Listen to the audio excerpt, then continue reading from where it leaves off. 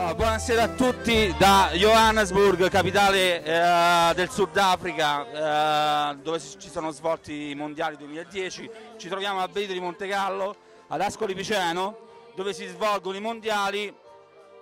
Demina un po' a Dezzalo Prosciutte.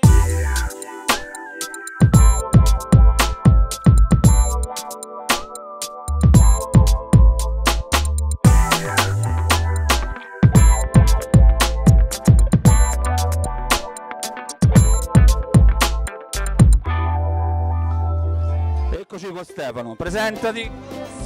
Stefano Antonini. Tito Perotti, nato da Betito, Professione? eh, prova a giocare a pallone. Ho studiato fisica, Sei un giocatore? ci proviamo. Adesso faccio il consulente per un'azienda di ingegneria. Un tuo sogno? Diventa calciatore. E sogno nel cassetto essere felice. Calciatore che ruolo? Centrocampista centrale. Centrocampista centrale. Ok, grazie.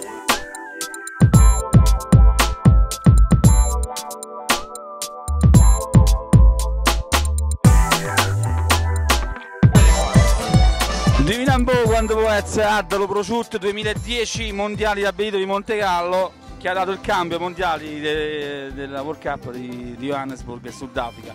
Niente, nulla da togliere all'eccellente organizzazione. Intervistiamo ora l'arbitro, il giudice di questa, di questa gara. Come la gente è emozionata in questo evento? Sì, sono molto, molto orgoglioso di presentare la sesta edizione dell'Altezza del Prosciutto.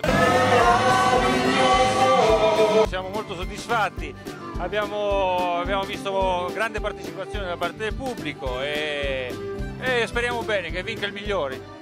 Germania o Olanda? Chi vince quest'anno? Eh, bisognerebbe chiederlo al Polpo Paul.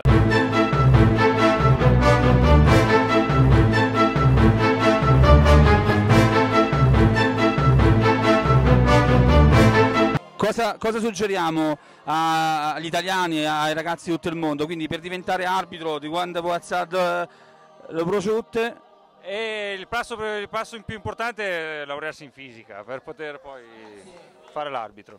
Verità italiane. Grazie Tito. Wallbash.